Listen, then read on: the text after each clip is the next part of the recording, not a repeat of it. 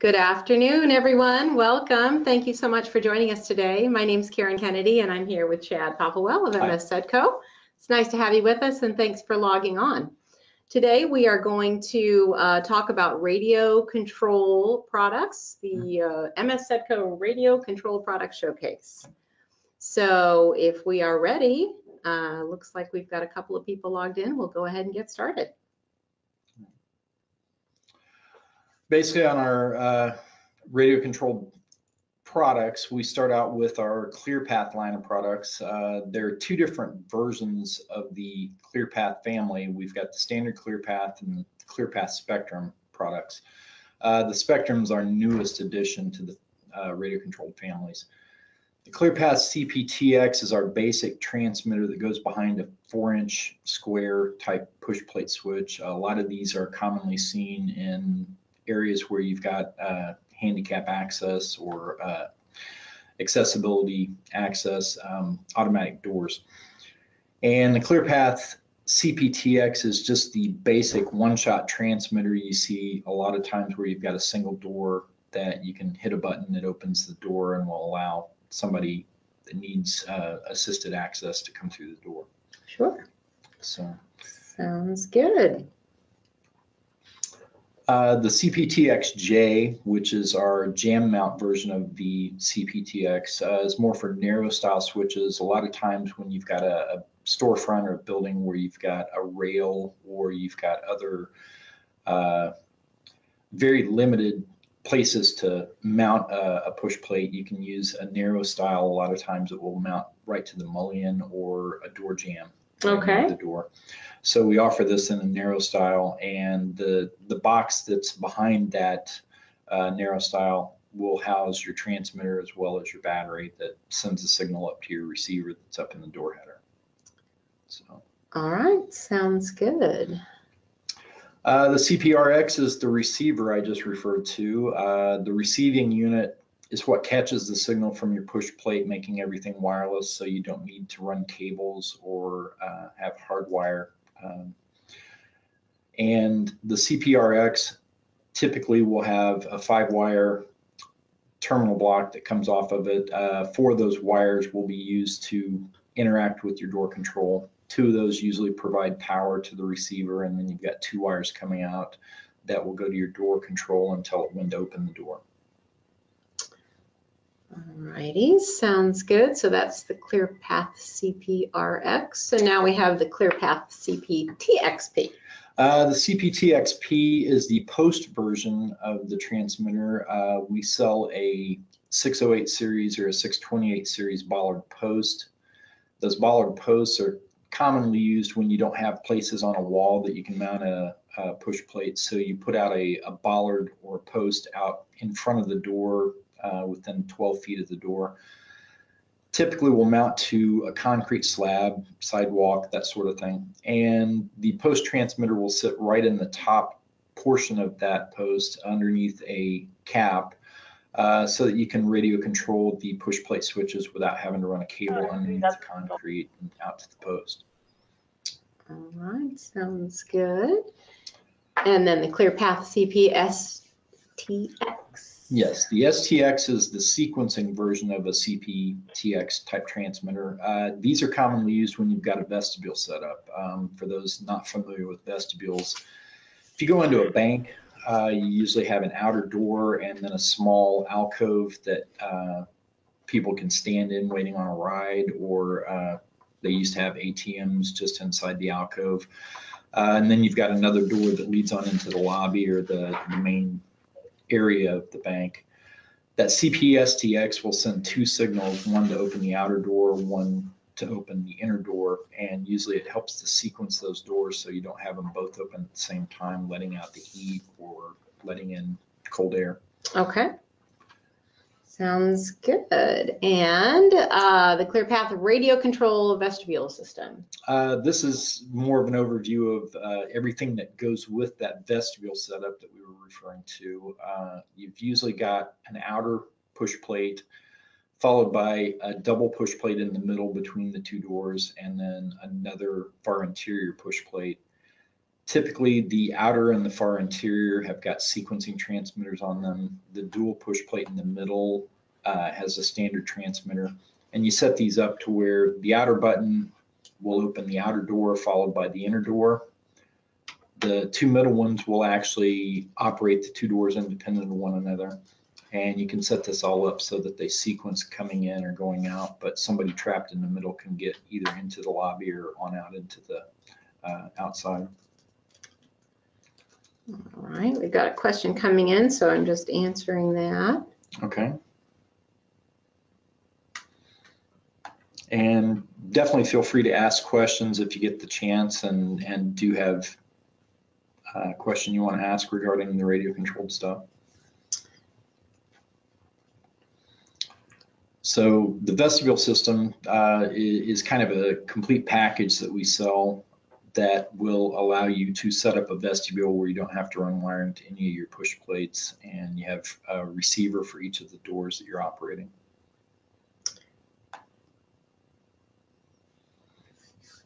Alrighty then. Oops, skipped one. Did we skip one? Yep. Here we go. Uh, the CPTX HH is a handheld version of our uh, radio control transmitter. Um, a lot of people carry garage door openers, uh, remote controls, that sort of thing for their own home use. These are similar in the fact that you can get a one button or a two button version of the handheld. Uh, if you've got one door that you want to operate, a one button will suffice. Uh, if you've got a couple of doors like the vestibule setup that we were referring to that you want to operate independent, you can set up the CPTX HH2, which is the two button version.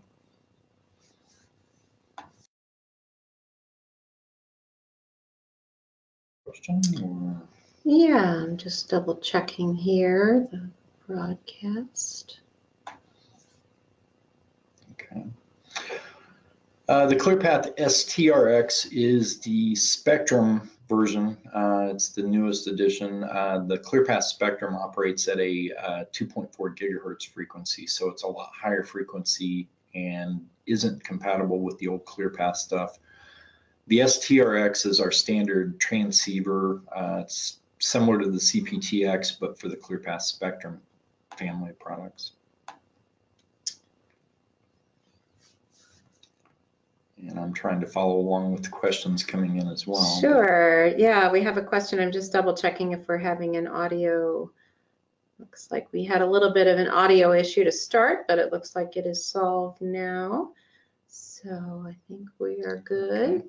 And again, if you have questions, uh, please feel free to click the question icon in the bottom of your screen and uh, I will field those questions over to Chad to answer them for you. And if we do need to backtrack, I'm sure we can go back over anything that, that we may have already covered. Uh, if you guys had problems hearing it or anything like that. Absolutely. Yeah. Uh, do let us know if you uh, were not able to hear the first couple of uh, slides or hear any of the presentation. We'd be happy to go back over that for you.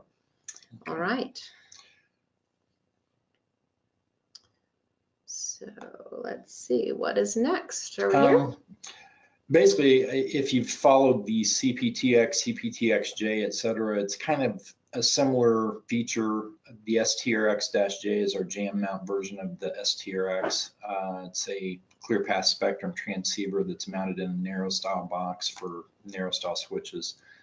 And a lot of times these, again, are used in areas where you don't have as much room to mount a, a four inch square or four inch round or six inch round type of switch. All right, and I'm just answering that question here. Okay. Uh, the S-Core is the brains or the receiving unit of the ClearPath Spectrum family.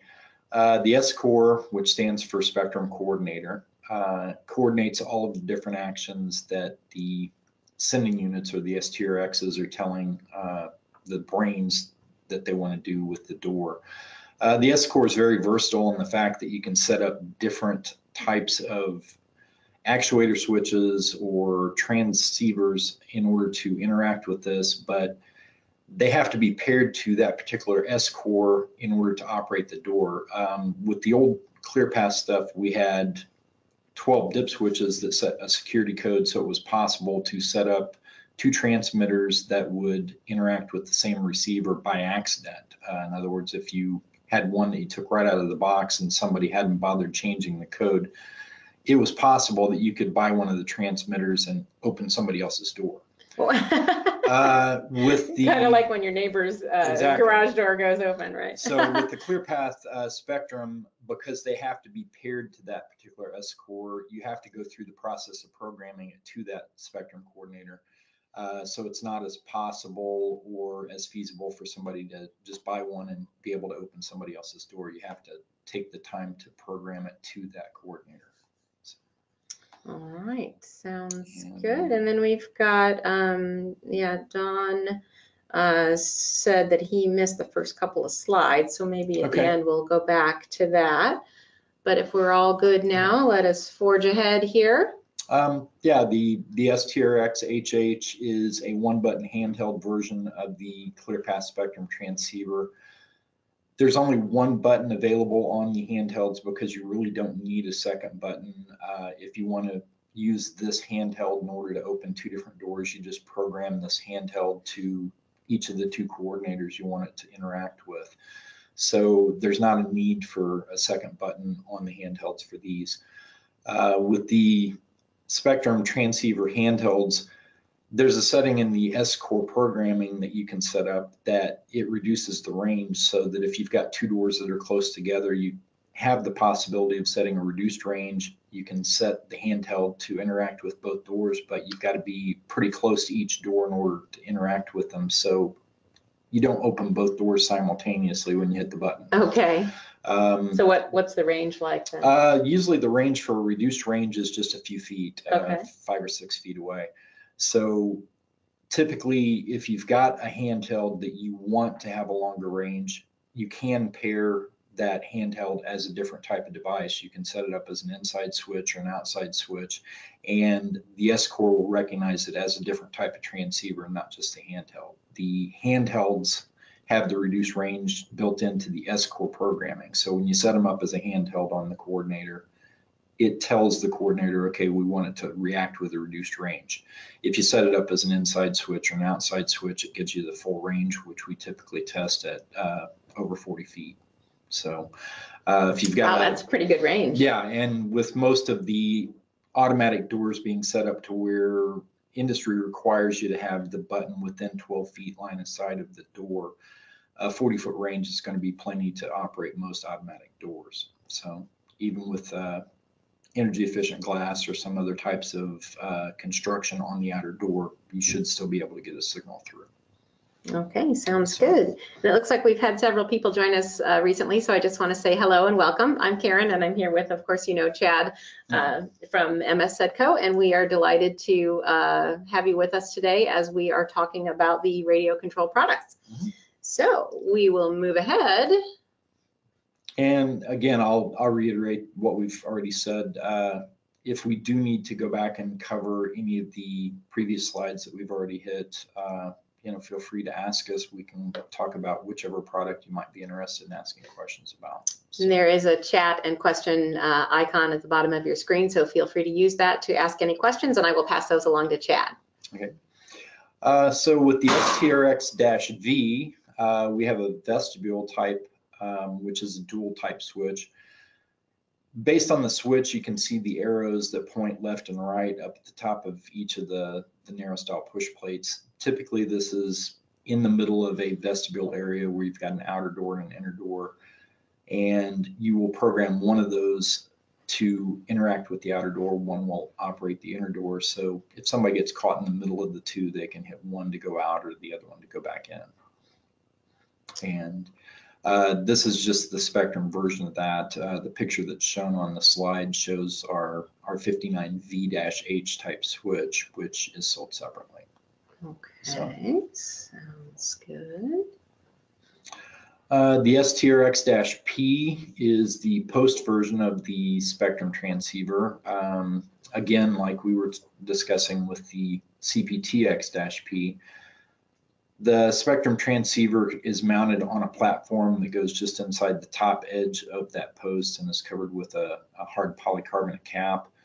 Uh, but this eliminates the need for running cabling from the post, which is normally a few feet away from the door out on a, a concrete slab. Uh, so you don't have to run conduit or cabling. You can use this to operate the door without going to a lot of extra expense. Oh, that's install. amazing. So it's just completely wireless. Yep. Yeah, very nice. So, and those can be programmed to operate multiple doors. If you do have a post that's sitting out in a courtyard someplace and you want to be able to hit the, the button in order to operate one door to the left and operate another button to open the door to the right, we do sell those with double transmitters in the Wow. Spectrum transceiver post. Uh, and our 628 series bollards do come with uh, openings for two different switches. So you can actually mount it to open one with the bottom and one with the top type switch. Okay. necessary.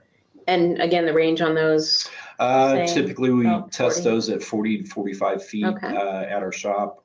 I know when we were first developing the product, we took it out in the parking lot and we were shooting it across the parking lot about 100 feet. So uh, we shouldn't have any range issues with these. so is working at 100 Oh, yeah. feet? Yeah. That's amazing. So. All righty then. And that kind of covers the basics as far as the ClearPath and the ClearPath Spectrum products. I know we kind of breezed through those pretty quickly. Um, there are a lot of different applications that these can be used for, uh, different types of installations. And I'm sure any of the guys that are, are logged in uh, can probably attest to a lot of different types of uh, scenarios. If you have any specific questions regarding a, a type of installation, definitely give me a call. That's what I'm there at the shop for is to answer those kind of questions and give you some guidance in regards to how to install things, uh, how to pair things, etc. Um, but Are you there 24 seven, Chad? Uh, no, although sometimes I 24 feel seven like- technical support. um, no, I actually uh, am at our shop from eight to five uh, Eastern time, and I do have a cell phone that I carry for work. That if you do send me an email or a call, I try to check those in the evenings occasionally, and will respond. Uh, but typically, if you want somebody to answer a, a phone call and talk to you via you know voice, I'm there eight to five most days. So Sounds good. All right, well, let's just go back and hit these first couple of slides Sure. um, quickly. And for those of you who are sticking around, um, we will go back through maybe the first four or five slides since I think we missed some of those. Uh, For those of you who are not sticking around, we want to say thank you so much for joining us today. Um, If you have any questions, please feel free to visit the website, mssedco.com. Uh, Please check out the video on YouTube. Please feel free to call our good friend Chad anytime you have questions. definitely. And I hope you've got your chocolates and flowers together for Valentine's Day. So thanks again for joining us. For those of you who are logging off and for those of you who are sticking around, Chad, let's take these first five slides one more time. Okay. Um, we start out with our CPTX, which is the uh, standard single shot transmitter for our ClearPath line of products. Uh, as I said before, the ClearPath and the ClearPath Spectrum are two different families of products. The ClearPath CPTX operates at either 300, 390, or our proprietary fre- frequency of HDRC. Uh, the 300 and 390 megahertz frequencies we chose primarily to be compatible with some of the older technology that was out on the market when we first started marketing the, the ClearPath. But the CPTX is just the standard transmitter. Uh, we sell those in a variety of different mounting boxes. Uh, the one that's shown there with the CPTX is for our four and a half inch square type push plate switches. We do offer those in the CPTX R4, which is a round four inch type of push plate, and the CPTX R6, which is the round six inch.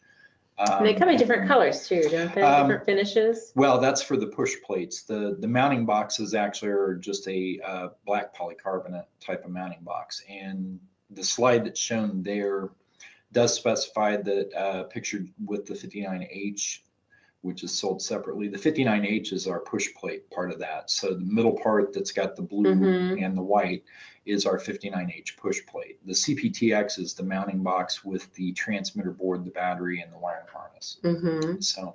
But the push plates are available. Yeah, the push plates are available in a variety of different Mhm. finishes. Uh, we've got our standard 59H, 59HSS, which is the stainless steel version of that. Uh, the 59P, which is a stainless steel that just has the text without the ADA logo on it. Uh, and then we also offer uh, custom finishes in like a uh, bright brass or um, a satin brass finish. We offer bronze, oil rub bronze type finishes as well. Wow. Yeah. So if design is important to your project, then that would be available for you as well. Yep. All right. So And the CPTXJ is one of those other type of mounting boxes we were discussing. Um, this is more for a narrow style installation. When you've got less room, you might have a, uh door jamb or a guide rail that you want to mount a push plate to. And the CPTXJ comes with that narrow style box. all righty. And the CPRX is, of course, the receiving unit for the ClearPath products. Anything that you've got that has a CPTX or even a CPSTX, which is the sequencing version, will use the CPRX as a receiving unit.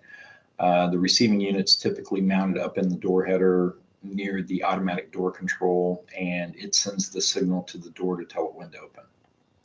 Excellent. So, and the CPTXP is the bollard post version of the ClearPath transmitter. Uh, again, it mounts to a platform that sticks in the top edge of that bollard post.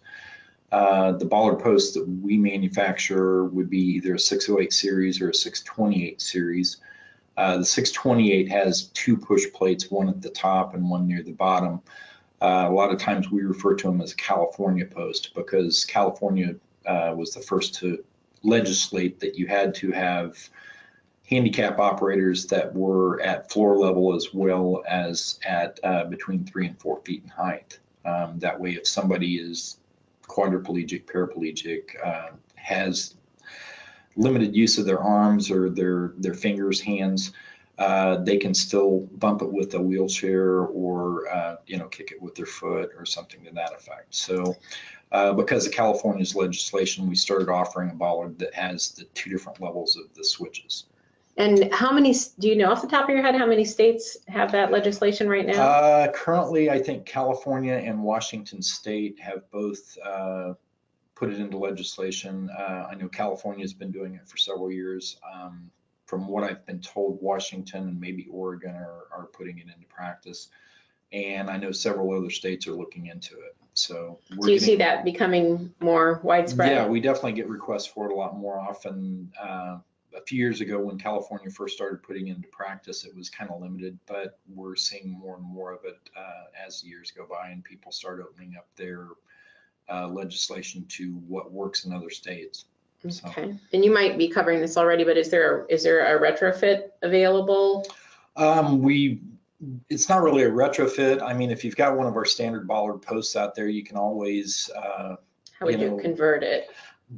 the easiest way would be to buy a new post that has the uh, the extra opening, the extra cutout with the bracket, so you can mount another push plate in there. But um, if So you- the smart if way you to had go- to modify the post, Yeah. you could actually take it to some place where they can cut another opening and, Okay. and maybe put a, a bracket in there so you Sure. can mount another switch if need be. But if someone's working on a design project right now, the smart way to go would be to Uh, for new installs, the smart way would probably be Go to ahead and put a 628 up get it in in the beginning. All right, sounds good. Let's see And- here. And the CPSTX that we briefly mentioned uh, just a minute ago is more of a sequencing transmitter. This is if you've got a, a vestibule or double door type setup where you want to be able to hit the switch and sequence two different doors. Uh, the first door would open, followed by a short delay, and then after a few seconds delay that you can set up on the transmitter board, the second door would open. Sounds good, Chad. I'm just gonna uh, message the group here and see how we're doing Yeah. with the slides.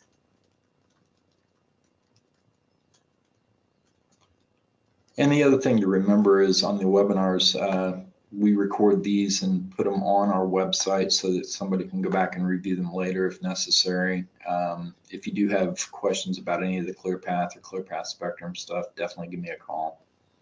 Um, All right, folks, any other questions out there? Yep. Think we're good? All right, well, thank you all again so much for joining us. It was a pleasure to have you. Thanks for taking the time out of your day to log on. Again, I'm Karen and this is Chad, and uh, we thank you for joining us and have a fabulous Valentine's Day tomorrow. And uh, we will see you uh, in a, two months, Uh, two yes? months, Two yes. months. Uh, Log back on for our next webinar. Do you know the topic of that one yet? Um, I'm not for certain. I know it's, we're following the, the door binder, so, uh, the next section of the door binder, if I had a guess, would probably be, uh, possibly our, our door beams or, uh, another one of our peripheral products that are used with automatic doors. Okay. But- Sounds good. Well, we will keep you posted, and thanks again for joining us today. Thanks, guys.